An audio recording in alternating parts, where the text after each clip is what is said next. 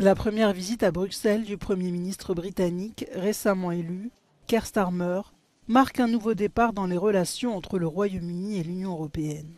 Le travailliste et la présidente de la Commission européenne se sont mis d'accord sur une coopération renforcée à un rythme soutenu.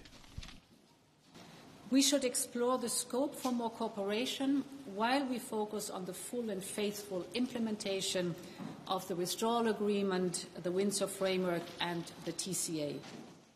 Ce partenariat pourrait permettre à Londres d'éviter les contrôles aux frontières sur les produits agroalimentaires.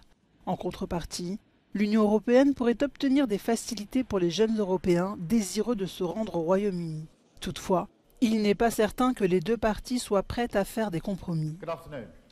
Good afternoon. On youth mobility, look, again, I have made it clear what our position is, and um, in particular that um, free movement is a red line. Malgré les lignes rouges, une relation politique plus apaisée peut aider les deux parties à obtenir ce qu'elles veulent. Most people don't care about Brexit.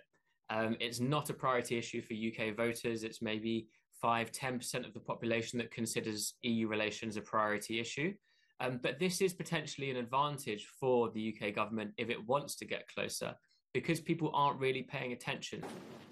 Les deux dirigeants ont décidé de se réunir régulièrement pour faire le point sur les progrès réalisés. Un premier sommet se tiendra en début d'année 2025.